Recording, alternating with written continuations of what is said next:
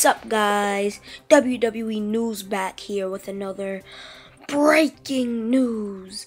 This is just another video, or not, this is my first ever video with the new name, WWE News. And this is an update on Jamie Noble, Jamie Noble um, one half of J&J Security got injured this Monday on Monday Night Raw from the Beast, Brock Lesnar.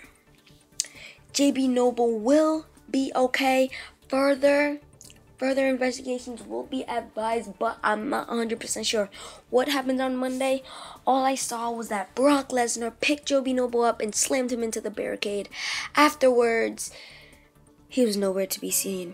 On Monday Night Raw, I did see them put him on the stretcher, which is the pic that you are seeing right now.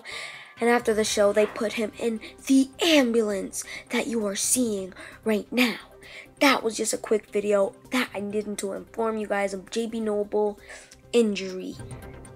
So that's going to be the end of this video, guys. Make sure you smash that like button, subscribe to my YouTube channel, and, um, you know, I'll see you guys in the next WWE News.